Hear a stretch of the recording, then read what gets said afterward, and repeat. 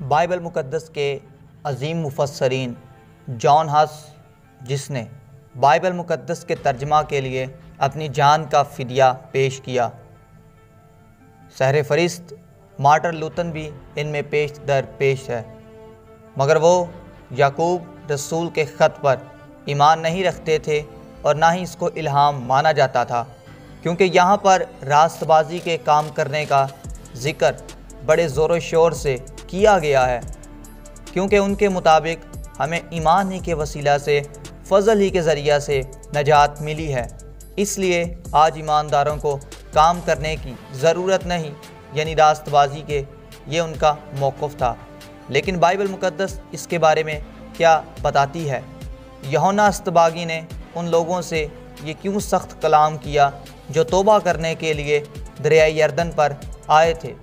क्या तोबा के बाद कुछ करने की ज़रूरत नहीं। रास्तबाजी के काम करना मसीहियों के लिए ज़रूरी है। इन तमाम बातों को जानने के लिए हमारे साथ जुड़े रहिए। Stay tune